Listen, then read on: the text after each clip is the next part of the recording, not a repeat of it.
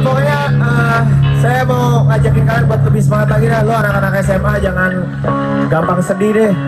Kita yang tua-tua aja masih pada semangat jadi nggak ada alasan buat lo anak-anak SMA harapan bangsa untuk lebih semangat lagi ya. Terus melompat lebih tinggi lagi ya Lazar ke melompat